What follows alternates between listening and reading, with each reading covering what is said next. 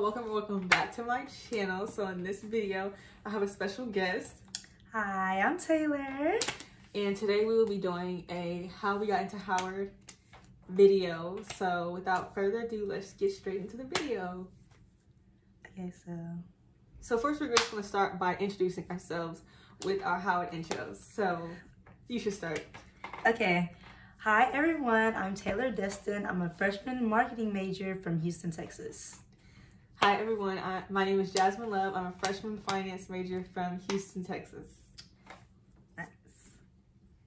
So next is our high school stats. So we're just gonna do GPAs, your weighted and your unweighted, and then your SAT, if applicable, like if you submitted it, or if you if you didn't submit it, if you want to say you can, and then your rank, if applicable. Okay, you want me to go first? Sure. Okay, GPA 4.0, um, rank. I was like 35 out of, I think 400. Um, just top 10 like percent or whatever. Um, SAT, I took it, but I didn't apply with it, so I'm not gonna say my score. It was it was terrible, but um, yeah, that's basically it. That's that's it, right? Yeah. So my GPA unweighted was a 3.68, I believe, and my weighted was a 5.4. And um, I did not submit with my test score, so no need to say. And uh, what was the other one? Uh, rank. Yep. I was in the second quartile. So there's four quartiles top 50 is in the top two, and then bottom 50 is in the three and four. So I'm in the second quartile. Yes, ma'am. Okay, next. Uh, APs, honors. Um, I guess I'll start. I did never took an AP class in my entire life. Um, I honors, I think if that means pre-advanced, then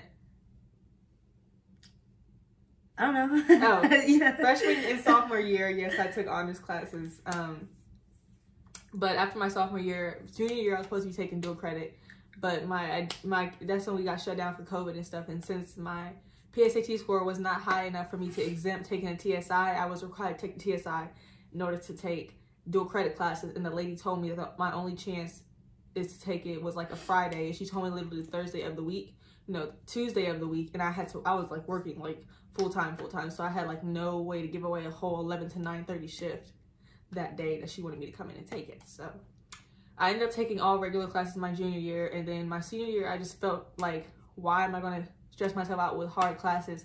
And that's not even going to be the determining factor about me getting into school. So yeah. Okay. So I'll go next. Um, I took all like pre-AP except like history. I hated history, so I took that regular. Um, sop no, was it sophomore year? No, junior year.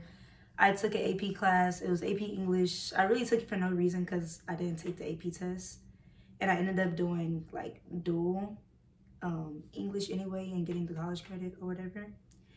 Um, but as far as like dual credit or dual enrollment, I was in this um, program called the MECA program, and basically we took the TSI test freshman year and then junior senior year we like went to this community college where we like basically graduate with our associate's degree by the when by the time we graduate high school so that's what i did so i have an associate's degree and a high school diploma and so yeah um but as far as i really regret taking the ap english because i really i didn't need to take it because the next year i took um, the dual English class and I ended up getting the credit for it anyway. But yeah. So next is extracurriculars. Um, I guess I'll start. I was on the dance team for three years of my high school life. Um, my freshman year, I was on the debate team and I was also on the Model UN team. And uh, I mean, I was you know, yeah. That's it. Okay. Basically, I did a lot of stuff. Um, I did varsity track all four years. I did basketball freshman year, and I did cheer, varsity cheer, like sophomore year up.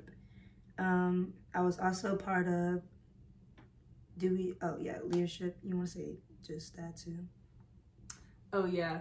Um yeah, for me, um outside of what I just told y'all, I was also a babysitter. I also worked at Chick-fil-A. I was very involved in my church. So I had a lot of things that I was doing, which mm-hmm. probably constituted to the reason why I got into the school because I'm telling y'all Howard does not care. I mean, they do care about your grades, of course, but that is not the determining factor at all. Mm-mm.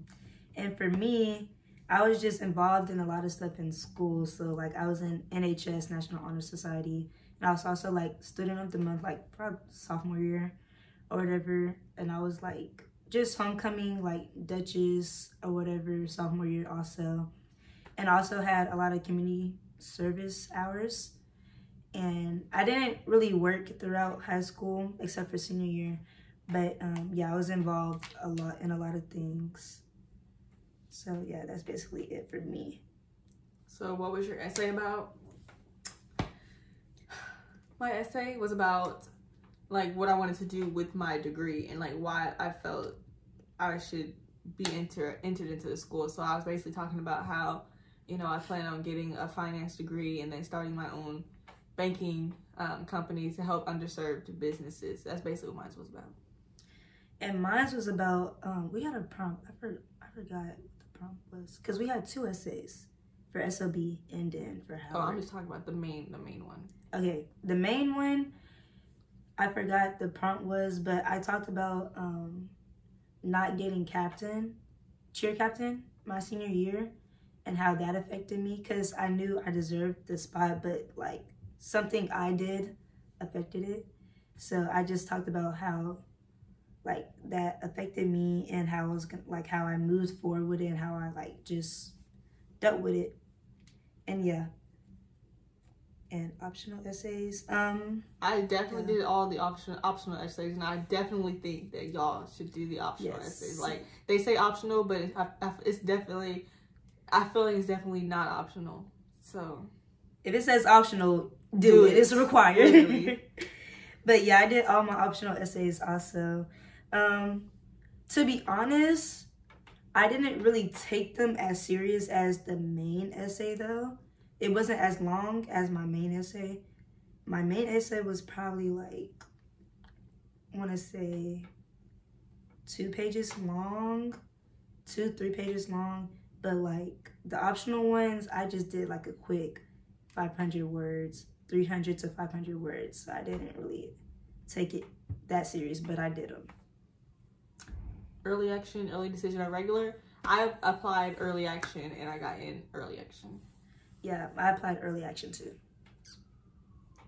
Scholarships. okay. Um yeah, I was uh like I told y'all, I I am a living proof that your extracurriculars can definitely get you. I mean, I wasn't bad in school like my grades were above average, but it wasn't like I wasn't one of those people that was like, salutatorian, valedictorian, uh, valedictorian, salutatorian. I was in top 10%. I was not that student. Like, you know, so Howard, they pick their, they give scholarships based off your grades, even though they admit people based off your extracurriculars. So for me, since I had, since I was in the, the 40th percent of like my class, you know how you can be top 10, top 20. Mm-hmm. I was in the 35 to 40th range, you know, and everybody else was 10%. I was, I got there at the second, the second lowest scholarship. So it was opportunity grant and I got, no, it was access grant. Then I got opportunity. So that is, uh, it's 11K a year. And then, but I also got knee base, which also wasn't much. It was like 700 extra bucks. So yeah. Okay, so I had got two scholarships from my school. I had got um like athletic booster club scholarship and then i had also got a retired teachers i think scholarship. It wasn't that much and then i also got um it wasn't from school related but it was like a leadership scholarship or whatever. And what else? I feel like i'm forgetting a scholarship but from howard? Yeah. What, what scholarship like did they award you from Howard? I for, like I have to look on my Bison web because I forgot. Oh, well, if we're talking about outside scholarships, I got uh I think 10k basically in outside scholarship. So I got um I got Vo Burden, I got uh Chick Fil A, I got Greater Houston Frontiers, Greater Houston Black Chamber, um Burger King, and I think NABA Houston. And yeah. Yeah, I forgot my um, scholarships that I received from Howard. Yeah. I gotta look, but yeah, it was probably like two or three. From Howard specifically? Yeah, How? because it was like a leadership one. Oh, so you got HU leadership. Yeah, Oh, and then there was like another one. I I forgot. I gotta look though. I think I think the order when I, I remember I wrote them. So it goes access. I'm going from bottom to low. It goes access grant, opportunity grant. I believe after opportunity is leadership, capstone, achievers, and then founders or founders and achievers. Achievers and founders at the top two. So Yeah, Yeah, I, I don't know. and I just know that it goes it goes 11k, 13k, 15k, 17k, 19k. So I believe if I remember correctly, Achievers is the top one, which is the 19k. Founders is the 17k, and then uh, Capstone is 15k, and then uh, 13k is Leadership, and then uh, 11k is the Opportunity, and then uh, the grant is literally just a grant. But um, the it changes every single year based off like where people are ranking. So that's why if you, if you go on the website, you're never gonna be able to find like how much each specific scholarship is because it varies per year based off like what the average grades are. Because if everybody like I know class of 22 was like a very competitive class, like everybody was extra smart. So obviously they're not gonna be able to give everybody that very high scholarship, you know. So it's just like it basically it goes off range and how hard the the the class the body class was. So college application. Oh, yeah. Um, don't procrastinate. Do it early. My friend, my friend, she was very, very smart, and she said she wanted to go to Howard, and then she waited until the last minute. They even gave an extension for the regular decision, and she missed the extension. So just be, just know that you're gonna have extra essays, so you need to start early, and don't like don't procrastinate unless you had like just horrible grades. I would say apply early uh, action. And then, okay, also, early action and early decision are not the same thing. Early decision, if you apply early decision and you get in, you're like basically committed to the school.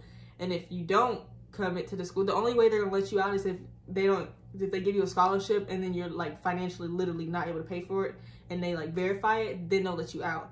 But if not, if you apply early decision and you basically, because you basically have a higher chance of getting in with early decision because you're basically committing to the school before you even in it. So, um, you have a higher chance of getting in. So if they let you in and you and you say, "Oh, I don't want to go here anymore," you know, they I think they have the right to like disclose your name with other schools, something like that. Something I read up on.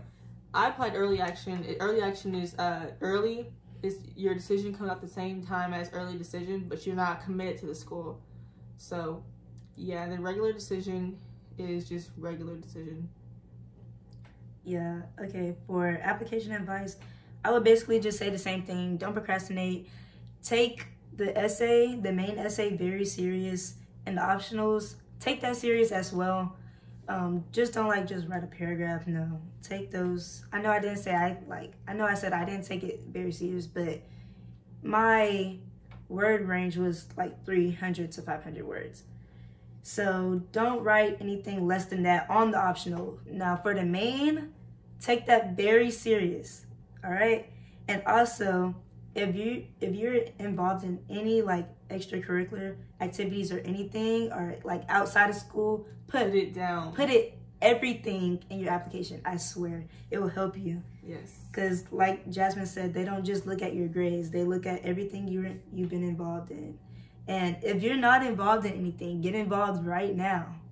Get involved in something right now if you're watching this. Like, and don't be afraid to embellish like like let's say but of course don't overdo it because they can they can see through you know the phoniness so like i would say like if you're like oh my goodness i don't ever do anything like i have no sort of leadership skills well, you know, if you're somebody that constantly finds yourself helping other people with work, you could say like you're a tutor or something like that. You know, Mhm. just like embellish and kind of like, you know, add some extra fluff to to every to everything. But that's if you're like you're just like, oh my god, I'm I'm a senior and I never did anything with my life. You know, just that's that's like an advice that I would give. Um, yeah.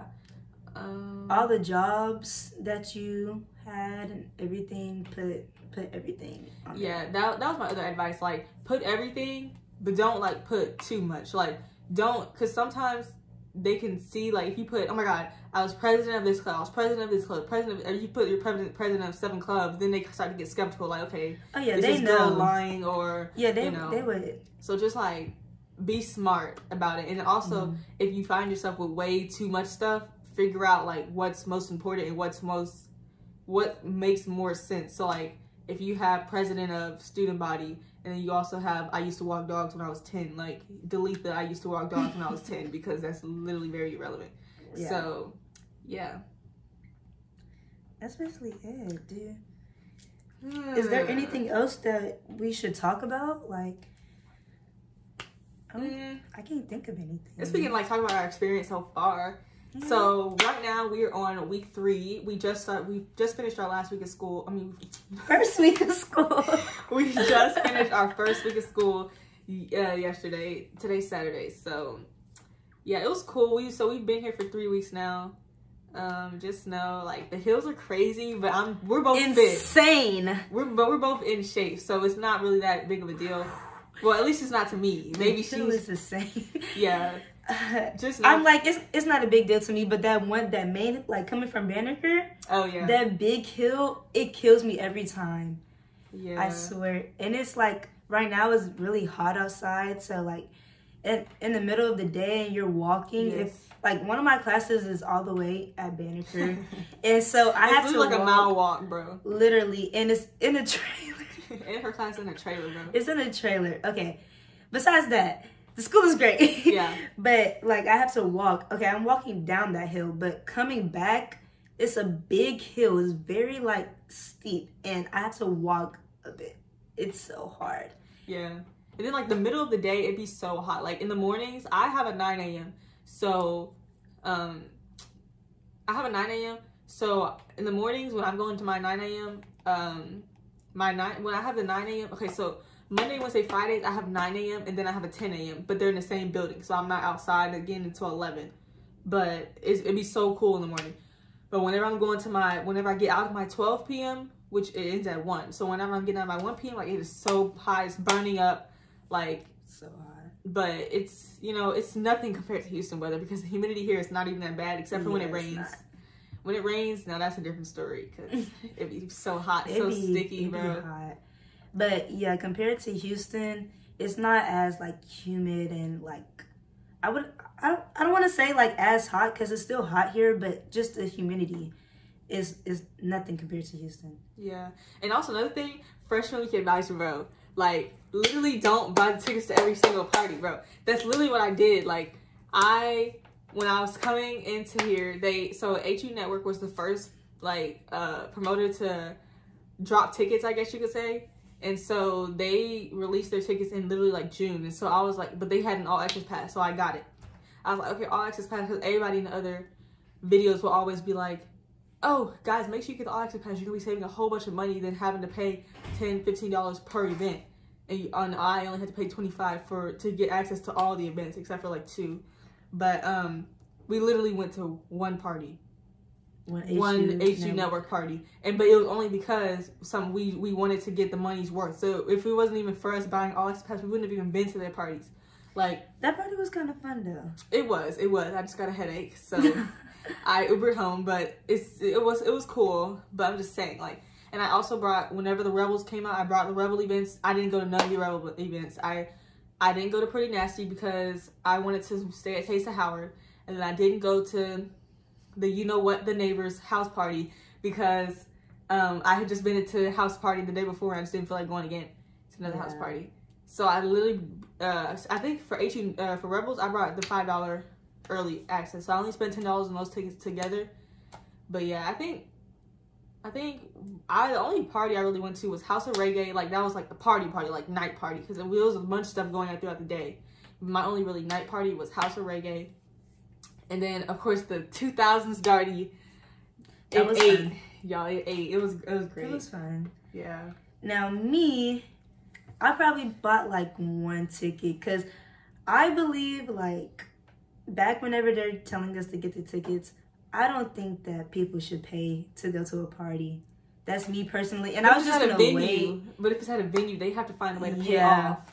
I get that, but I was like, I'm not gonna pay like all this money to go to a party. I'll just and then like, what if I don't even go, or like, what if I pay the money and then it's boring, you know? So I was like, me personally, I would just wait to get the ticket and see if I really was gonna go. So that's what I did. So I didn't like just waste my money on, on the tickets. But yeah, But with that, it's kind of like a hit or miss because if you wait, the prices will be higher. But at the same time, you have the freedom to figure out if you like really want to go to a party and not like force yourself to go just because you've already paid the money for it, yeah, type thing. So, and I'm saying like when you order early, your tickets be like five dollars, but when you order last minute, the ticket's gonna be twenty dollars per ticket. Like everybody that didn't buy House of Reggae tickets had to pay twenty dollars to get in. But since I had all access pass, it got it let two people get in for free. Well, not for free, but two people Yeah. two people could go on that all access pass instead of everybody that waited to the last minute. They had to pay twenty dollars for their ticket. So that's a lot. yeah, But yeah, um, moving week was pretty fun. Oh, you I was gone, here. yes. Yeah, moving week was pretty fun. Um, I we both moved in. So moving was Monday through Saturday. We both moved in on the Monday. So we moved in the first day of the week. So we had to leave, which was August 8th. So we left our cities very early. And it was kind of like, cause I, cause you know, you, you see on Instagram people from our city that was coming here that didn't li- that lived in like that was going to stay in CHN. They wasn't even leaving until like Thursday or Friday of the week, and we were already up here like moved in for four days now. Like, and I'm like, dang, like I had to leave Houston so early. I left Houston August 6th, bro. I left August seventh. Yeah. I left the day after you. Yeah. But yeah, moving week and then freshman week, like Bison week. Oh, that's whenever we had or- orientation. Just know that if you're if you're going to be an SOB, you're going to be in orientation all the t- the whole time during um Bison, Bison week. week. Like we missed a lot of fun stuff being an SOB. Like we missed missed the rap uh read the raps. Like we just missed a bunch of fun things that was happening because SOB orientation is like all day. all day, all week. And you got to dress up, but I don't really care about the dressing up part except for the the part when it's hot and you got to wear the blazer. That's kind of it's kind of hot, but I don't really care about dressing up. I mean, at least it tells me what to wear because I I be trying to figure out what to wear every single day. So SOB orientation actually, the first day was fun. yeah, actually wasn't that bad. It was just like I think it was that Wednesday whenever we stayed there like for a long time. No, whenever no, I think whenever it we tried to leave, oh. it was that day. I don't even remember, but I just know. No, I think it was the day before that. Like, Girl, yeah, 'cause it was it was a day that we did nothing fun. I think it was Tuesday. We literally did nothing fun. We just had back to back presentation, presentation, presentation, and everybody was just complaining Just that it was there. so long. It was just we just sat there. But other than that, SOB orientation was it was okay. I mean, it wasn't just all that, but The first day was go. super fun. First day we had like dance breakouts and TikTok challenges and swag and surfing. Oh, also learn dreams and nightmares. I don't know that song, bro. I still yeah. They play that. They really do play that every single party, but. I'm still not gonna like. I was trying to learn it back when I was in Houston, but I could not get into that song. Like it just wasn't interesting to me. Like I couldn't, I couldn't rock with the beat. The beat takes so long to drop, but they literally played it every single party here. And I'm just standing there like, See me, I've been like, I've been knew the song. Like I didn't have to just like learn it to come up. I've been new to song, so I was fine. and also swagging and surfing is a real thing. And you gotta know how to do it because they will call you out and like stop and restart. Yes, literally. So you you gotta don't learn go how to do it. here, here to begin with. Like you go, you go slow, slow, and then whenever the beat drops, then you go, hey, hey. But you don't like go like this the entire time. Like no. That's funny. But yeah, But is that it? I think that is it, Taylor. I think that's it. I don't have anything else to talk about. Like If you guys have any other questions, make sure to drop them in the comments below. And thank you guys so much for watching this video. And I hope to see you guys in my next video. Don't forget to like, comment, and subscribe. Okay.